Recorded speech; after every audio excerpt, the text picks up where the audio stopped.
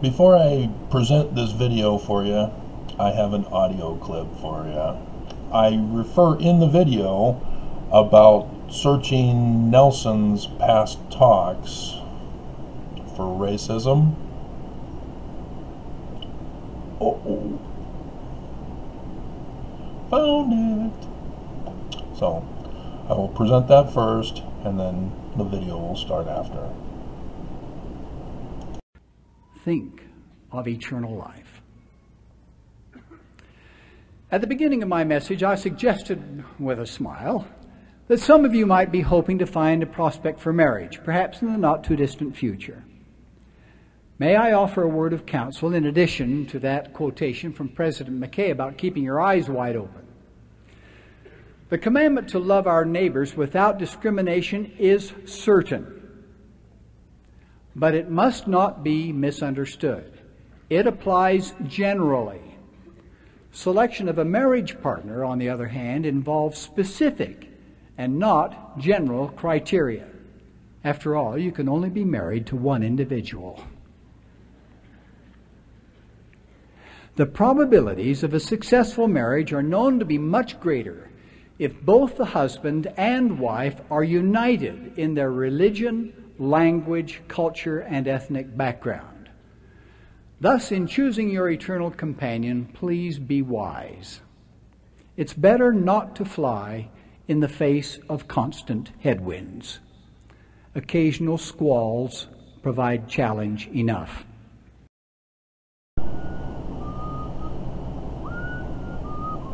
Travis Wayne Goodsell. Uh, Mormon Land uh, did an article yesterday.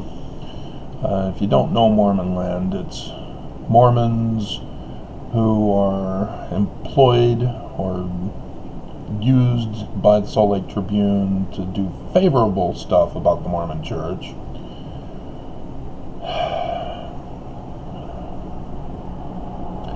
As it's a group of people who do articles, opinion articles about uh, modern topics about Mormonism. And so yesterday's was uh, how can the church eliminate racism in the church? How can the church eliminate racism? and that shows the mental processes of those editors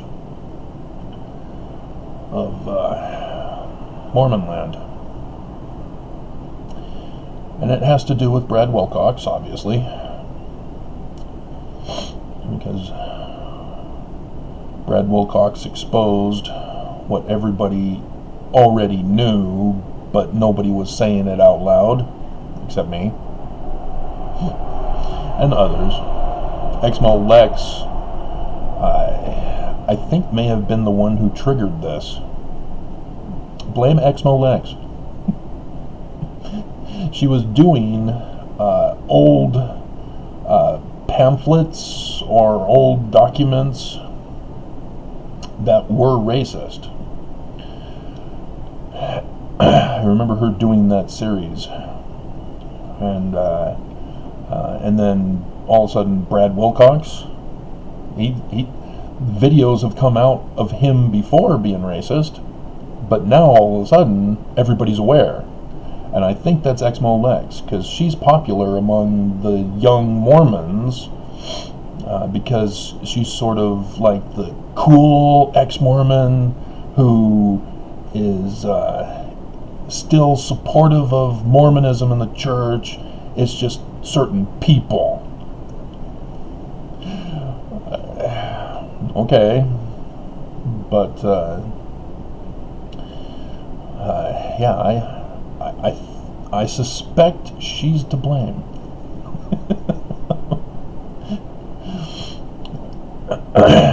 Nonetheless, it shows the Mormon perspective that it's other Mormons who are setting the bad example for the church. as I did the September 6 uh, three hour video. It was very clear that everyone except for Paul didn't want to be ostracized, excommunicated, leave the church. You know, you have Abraham who believed it was a mistake. What are you doing? How, how are you doing this to me? And I understand his point of view when I was uh, attacked by F. Michael Watson, who ordered the stake president to excommunicate me. and the excommun- or the stake president had his full uh, presidency and the full bishopric in my younger singles ward all gathered together to interrogate me. I was like, what the hell's going on? I haven't gone against the church. I'm supporting Joseph Smith as a translator. And here I am being attacked. They want me out of the church. They think I'm a threat. What's going on? I don't understand. And uh, and so yes, I can understand his position. What? You're attacking me for a human Davidic lineage? I don't understand. And that's part of that that leads to what the problem is is that the prophets of the Church of Jesus Christ of Latter-day Saints don't tell us enough that we end up with all sorts of questions. And so, because the church won't give us the answers, we then search for the answers. And when you're not properly educated on how to search for truth, you make errors. And you come up with things that are different than other people. And because other people are different than what you created, you then say, well, you're wrong. This is what I know to be truth. And then we get the world joining in and, and saying, well, we'll agree to disagree. truth is not an opinion. You can't have a majority vote to determine what truth is. Or, or the even worse one, feelings. Feelings are my truth. My feelings must be validated. Dear God. That one was a horrifying one that emerged because people get emotionally upset that people aren't accepting their feelings. And it's usually, uh, uh, it, it, it's horrifying.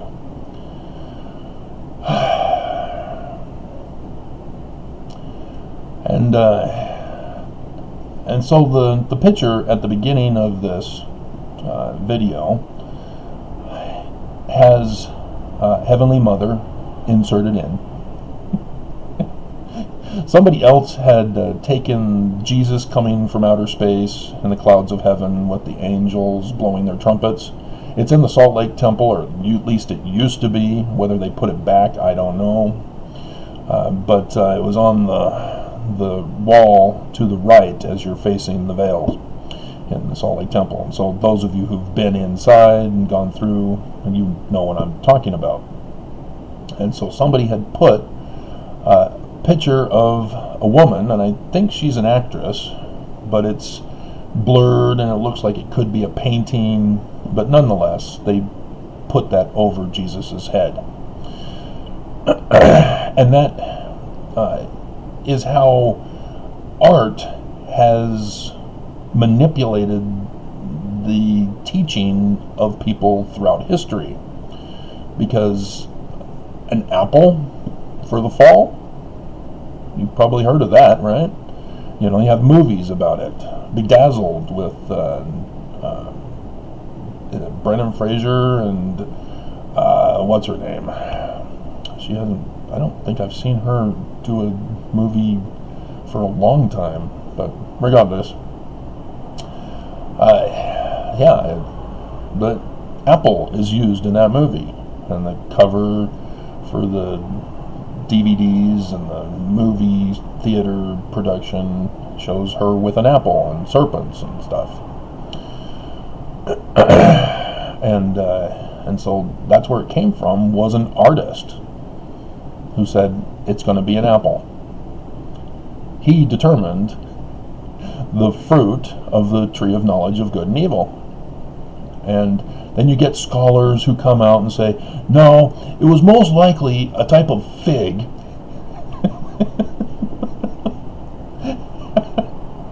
and again, it's all under the assumption that the story is literal history rather than a theological story to help teach doctrinal principles for the religious followers. And so, as you see here, this is the premortal council in heaven. And you can see how the artist has shaped the minds of Mormons. Because is it just Heavenly Father and 12 of his sons in the premortal council in heaven? No. And I even added Heavenly Mother to it. Because the artist didn't have Heavenly Mother. Has all of us children. We're all gathered around Father, and there's three. And because of our knowledge of Mormonism, we know that it's Jesus, Lucifer, and Michael but no Heavenly Mother, and all of us are involved in this council in heaven. You know, you can even see me if you squint real hard. But yeah, this is the artist with their view of Mormonism and the Council of Heaven. And I've heard Mormons use this painting to say what literally happened in the premortal council in heaven. That everybody was involved, and we all heard the debates from Heavenly Father overseeing it. This is the source. But it's not accurate according to Joseph Smith. There were only Heavenly Father and 12 sons who participated, not even Heavenly Mother. And in the September 6 video, yeah, there was the one woman who pushed Heavenly Mother. Gotta get rid of her. Can't have Heavenly Mother. But again, by removing Heavenly Mother, Mormons then say, well, she's a sacred secret. We have to respect and keep her protected from people knowing about her. really? And so you can see how not only what is put into the paintings, but what is not put into the paintings that affects Mormons' thought processes. And paintings are an easy way to not do research, to not study, and use the scientific study, not the uh, here's what we want you to learn, memorize it. That's not study, that's indoctrination. you need to be able to learn that linguistically, Sidney Rigdon's linguistic pattern dominates the major portion of the Book of Mormon. And be able to figure out how it is that Joseph Smith Jr. is claimed to be the translator of the Book of Mormon instead. If you don't know how to do research, you'll never find that answer out. And if you're Mormon, well, it's Joseph Smith. Science is wrong. Sidney Rigdon had nothing to do with it. Science is wrong. If you're ex-Mormon, you go, I don't know, Joseph Smith is a fraud. and and you never come to a knowledge of the truth because neither side knows how to do research properly.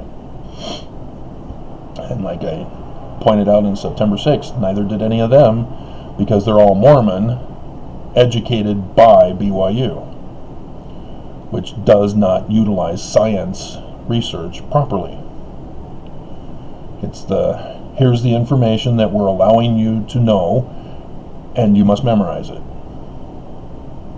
And that's that creates ignorant people. Drones who regurgitate the information and produce, like I said, Mormons anti science, ex Mormons fallacy thinking with a hasty generalization, a hasty conclusion.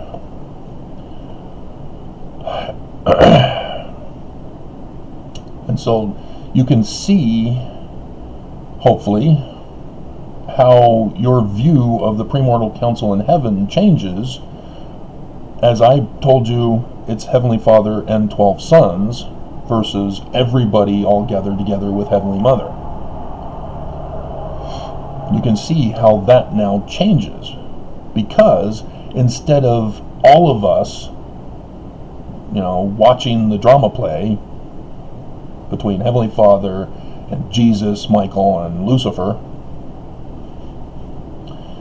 it's now it was a sacred secret discussed among the leaders and then it was passed on to the rest of us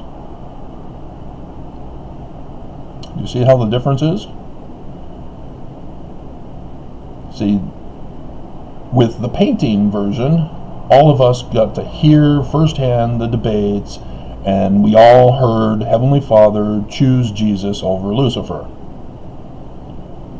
You see how agency in our premortal concept is different now.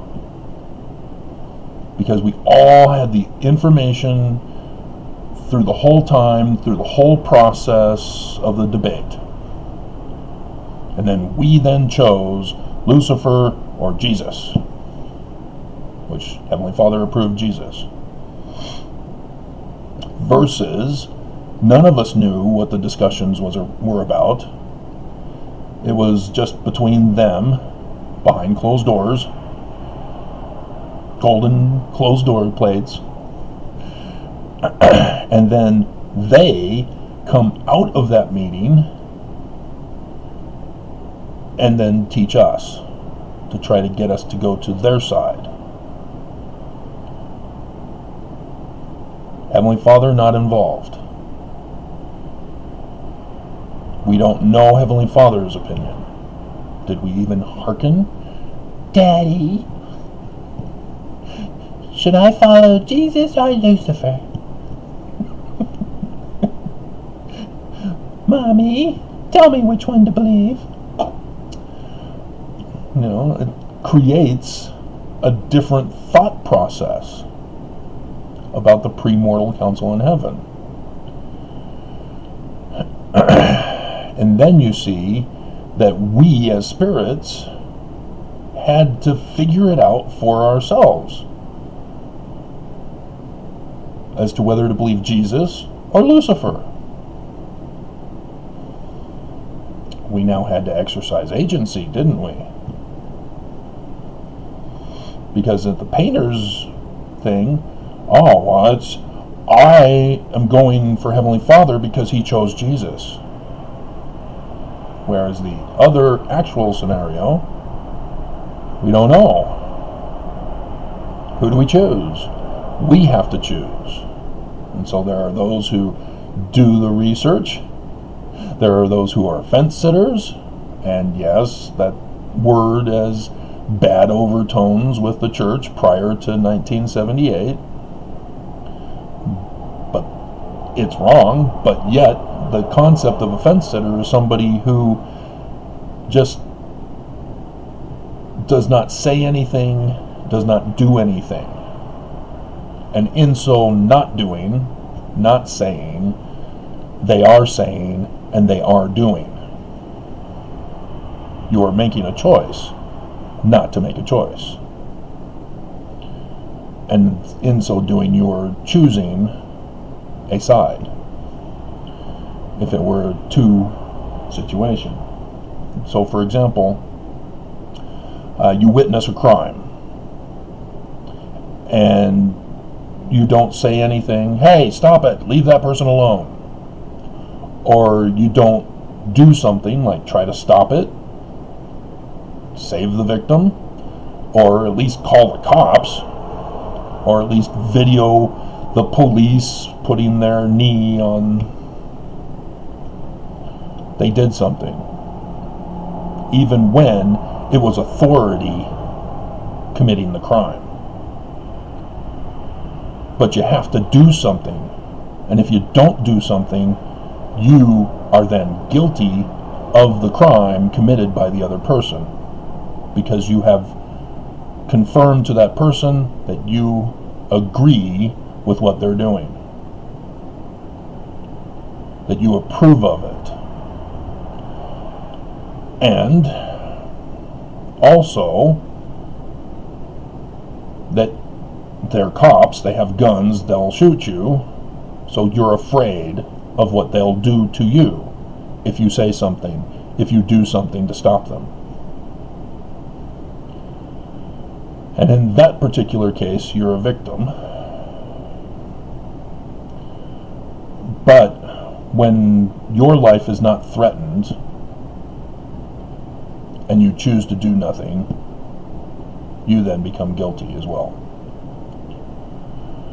And so with Brad Wilcox, if you chose not to say something, not to do something, you become guilty of approving of what Brad Wilcox did and said. The Church of Jesus Christ of Latter day Saints, the prophets, went silent. Remember? They haven't come out with a statement. They haven't said anything about Brad Wilcox specifically. And in so doing, they support Brad Wilcox.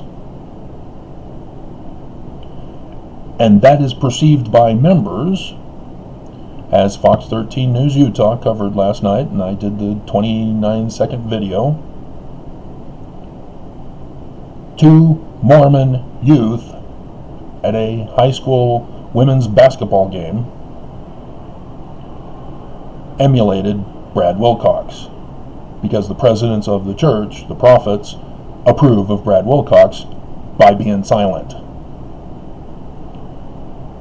And this is what Mormon land is purposely deceiving their audience. How does the church eliminate racism? Well, the president of the church needs to speak out against Brad Wilcox. He needs to restore the damage. Take it upon him respond firsthand. And he's old enough to have been guilty of being racist. Because I'm pretty damn sure if we go back far enough, we'll find something in Nelson's past. What do you want to bet?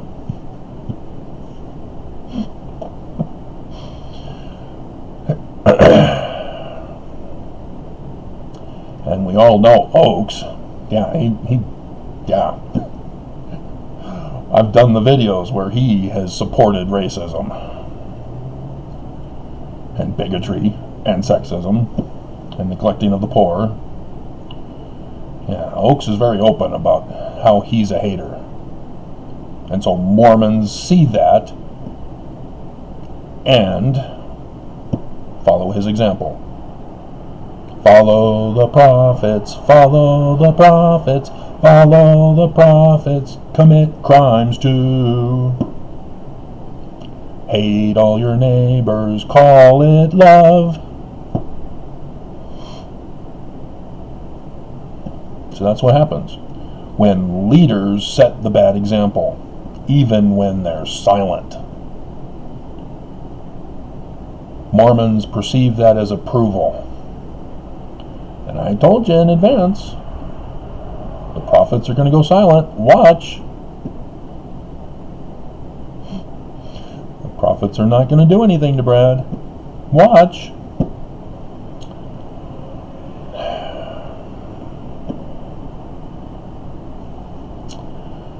So, and uh, even with just one Heavenly Mother, that already has Mormons on the defensive. Because all Mormons know that Heavenly Father had polygamous wives. And so, which polygamous wife did you come from? Were you the first wife, child in heaven, or were you number 57? you see how your perception changes when people present things to you. This is nonverbal communication. The word in nonverbal communication. And how you believe determines the consequences that you will experience in your life. And so the prophets being silent about Brad Wilcox resulted in the two high school punks who thought it would be cool and appropriate to be racist at a high school women's uh, basketball game. It's that simple. those two boys believe that the prophets are true, speak for Jesus, and that it's Jesus' plan of happiness to be racist. Now, do you see why it's important for not only the theology to be accurate in teaching a message, not literally history and literally true, but that the prophets make sure that the Mormons are very clear on this as to where they stand on that issue. Because the premortal council in heaven for Mormons is about who do we follow? Heavenly Father's plan carried out by Jesus or Lucifer's plan? And we all know Heavenly Father's is love and Lucifer's is hate. But when you don't perceive the information correctly, you twist it around. Oh, hating is love. Love is hate. Oh, you're trying to save my life? You're taking away my agency. That's Lucifer's plan of happiness.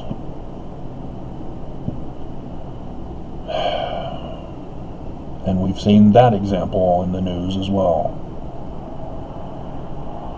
That is still continuing and going on to year three.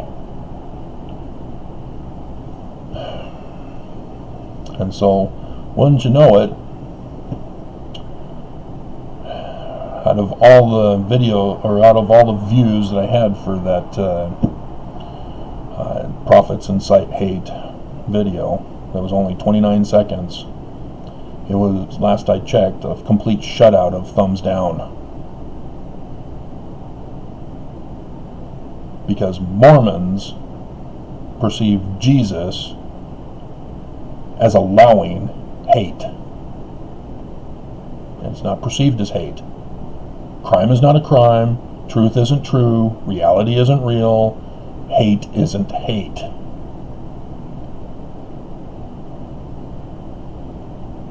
All because those in charge dropped the ball.